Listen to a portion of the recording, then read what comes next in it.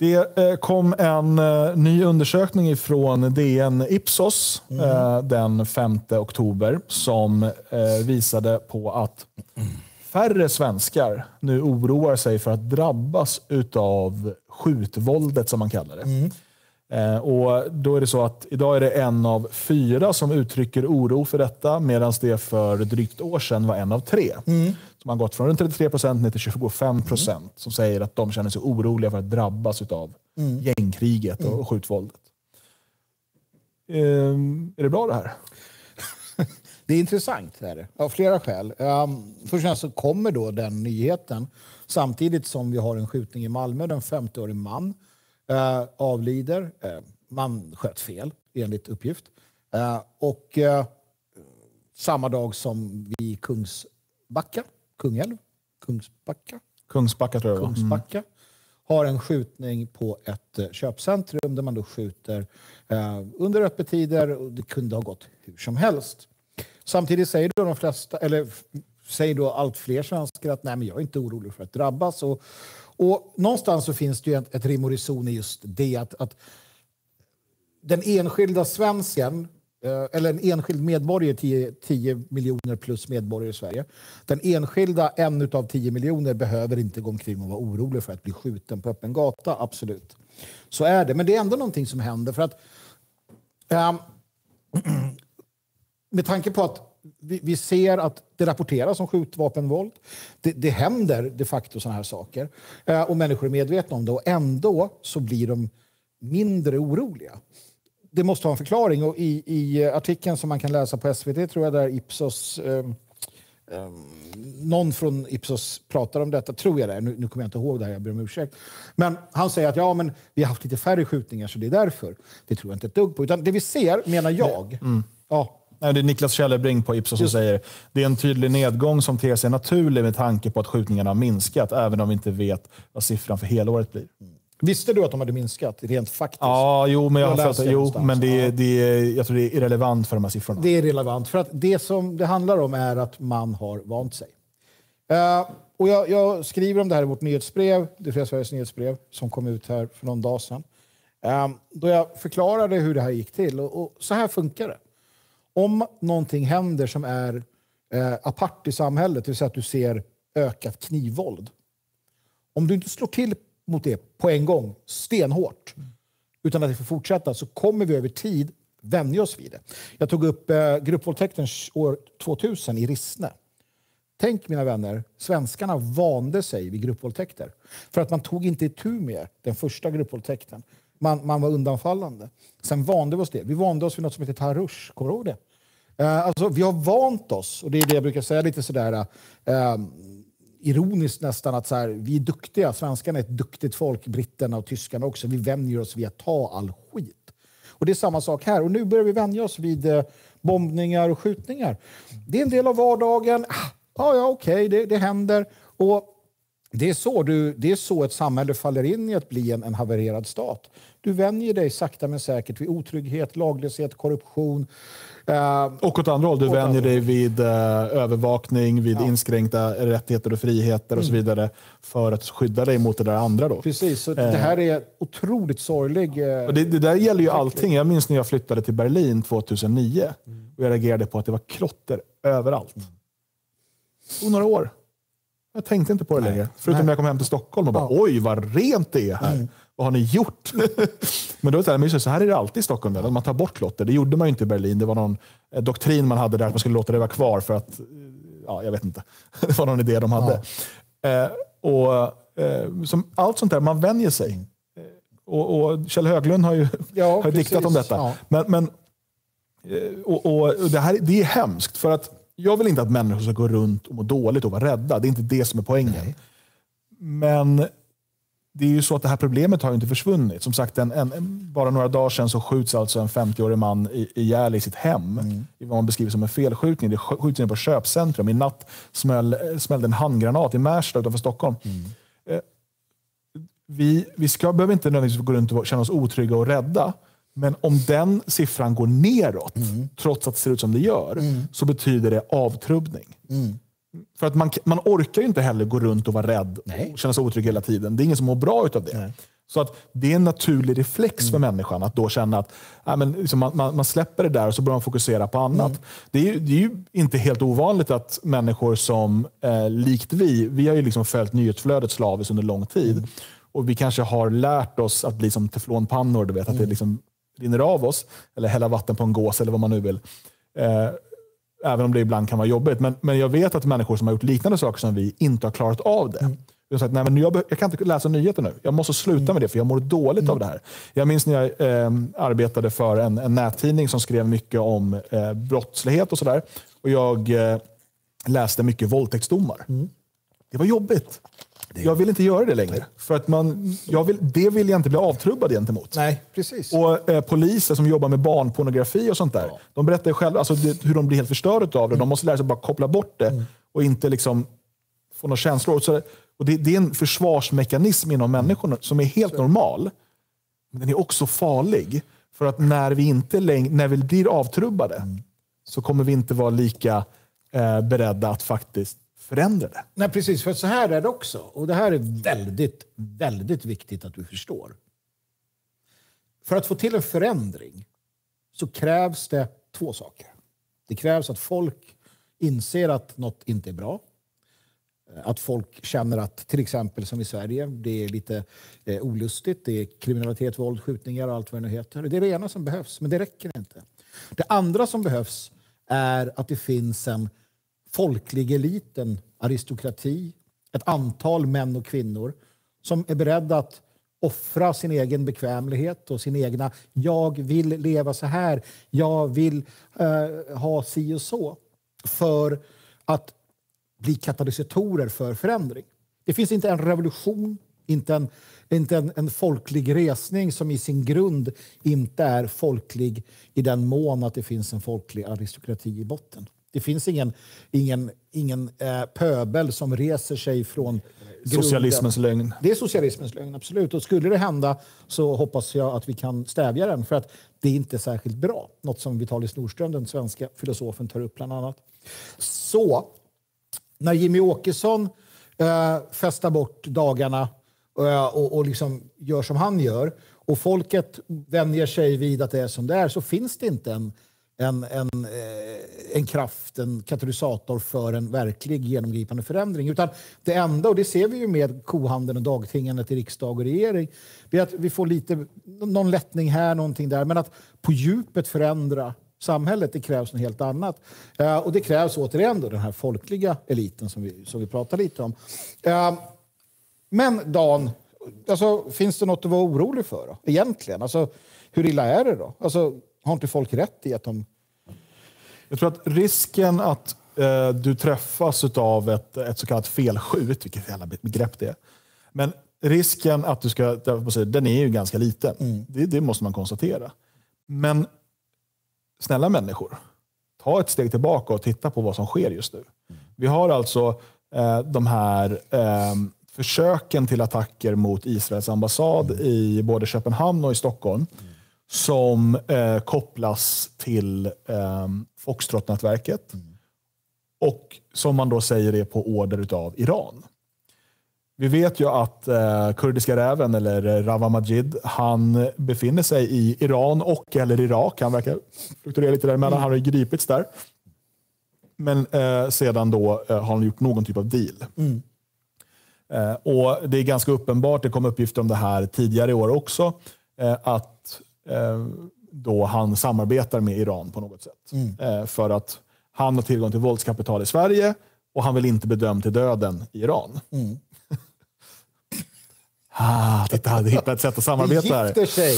Eh, och eh, Vad betyder det här i längden? Jo, i det här fallet då, så har Iran tillgång till soldater och barnsoldater i Sverige. Eh, som man då kan eh, köpa tjänster utav för något som är betydligt billigare än att behöva utbilda och skicka spioner som ska liksom ta sig in och sådär. Eh, det, det är liksom en, en, en spottstyver. Och det här är ju bara ett av många exempel.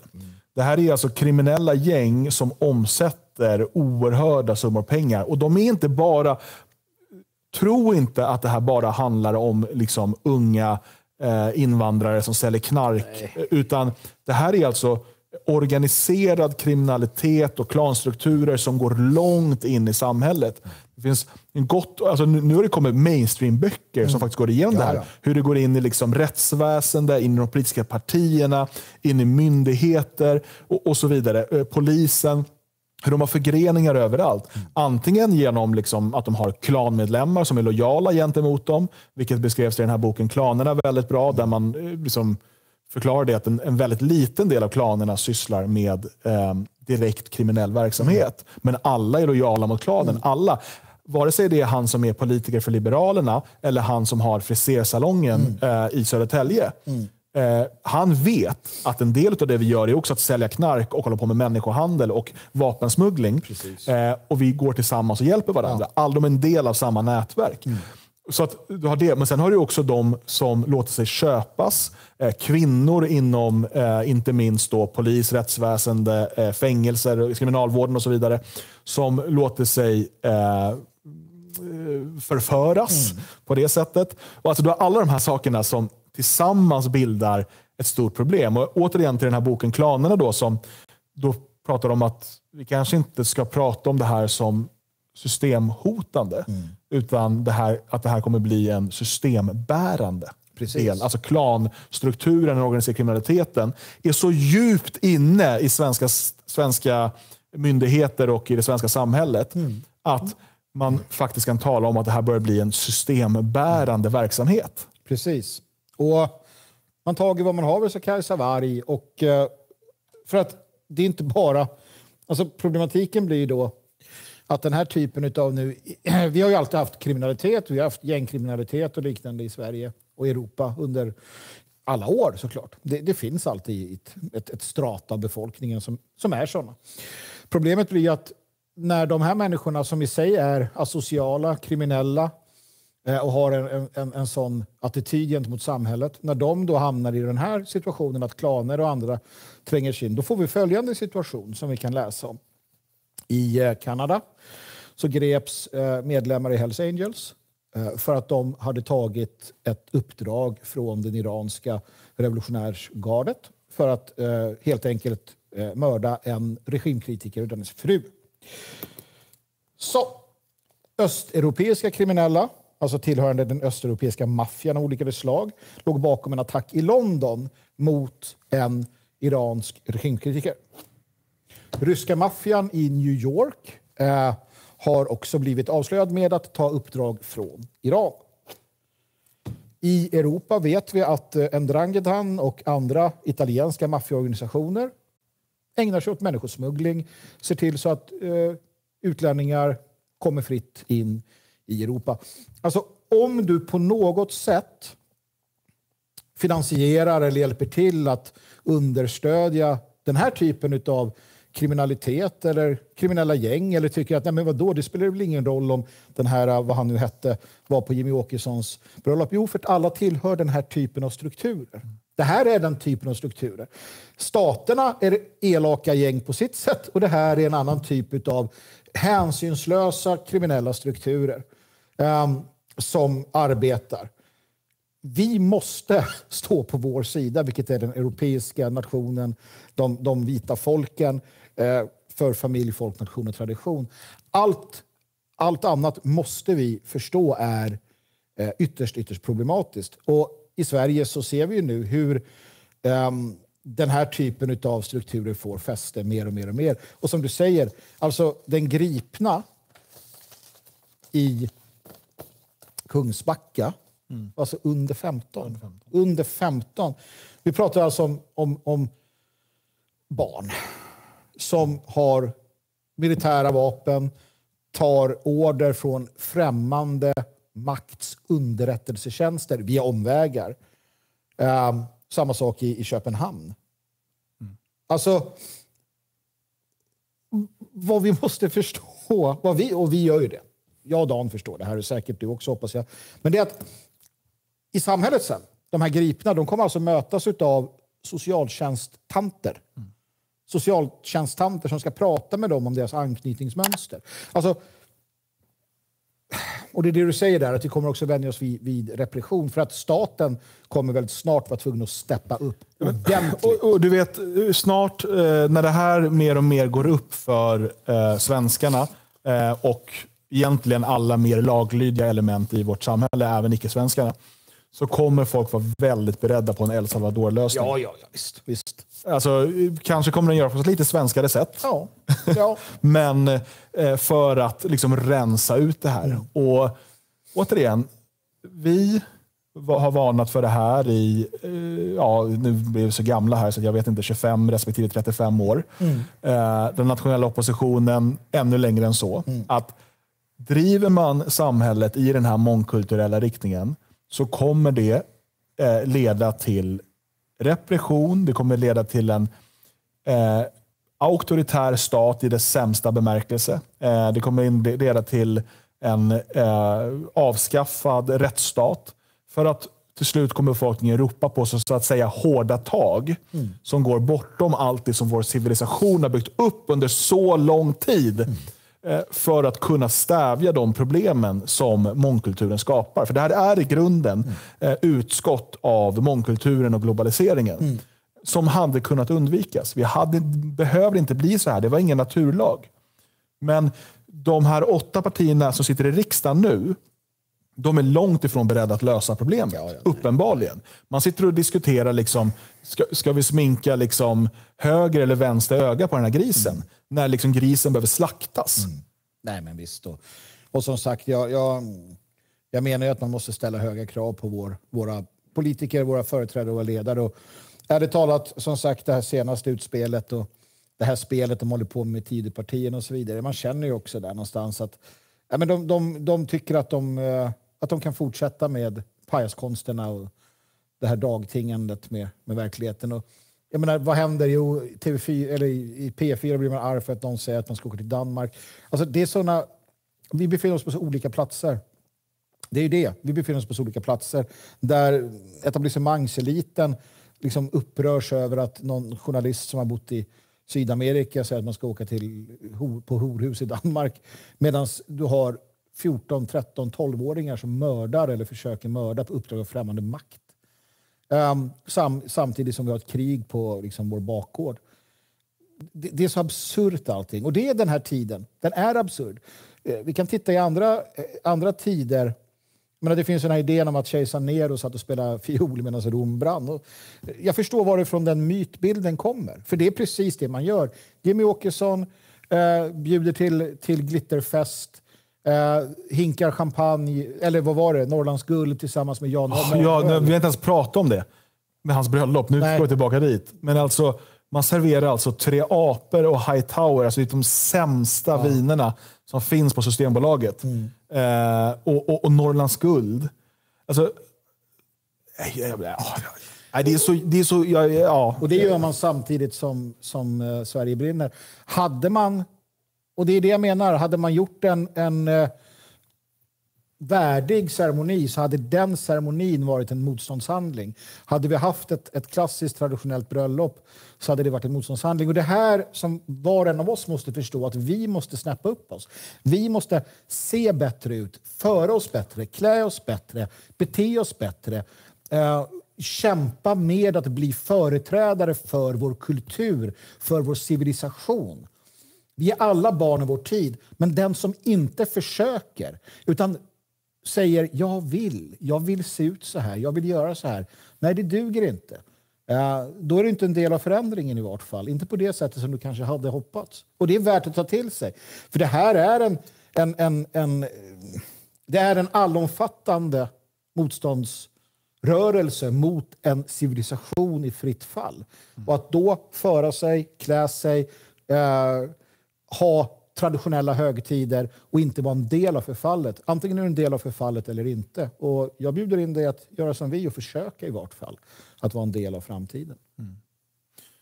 Engagera dig i det fria Sverige, bli en del av ett eh, motstånd som försöker höja sig över massan. Och gör det genom att delta i våra traditioner som bygger på uråldrig grund. Till exempel då den 26 oktober här i Svenskarnas hus Eh, där vi hedrar våra förfäders minne.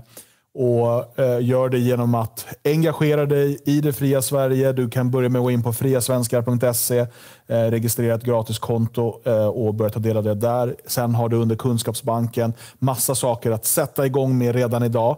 Att lära dig om, att få tips på vad du kan göra. Och Det här är något som växer hela tiden. Vi behöver alla ta vårt ansvar nu. Eh, det måste vara slutlek. Det måste vara över med eh, pajaserierna helt enkelt. Eh, så var en del av det som nu är ute och, och, och, skapas runt om i vårt land genom att bli en del av det fria Sverige. Gå in på friasvenskar.se, registrera ett konto och när du känner dig redo, lös medlemskap i det fria Sverige och engagera dig på allvar. Vi är tillbaka med en podcast på fredag och sen med en direktsändning nästa tisdag igen. Tills dess, glöm inte att eh, prenumerera, gilla och dela programmet vidare till alla du känner och de du inte känner på sociala medier. Så hörs vi snart igen. Ha en fin vecka.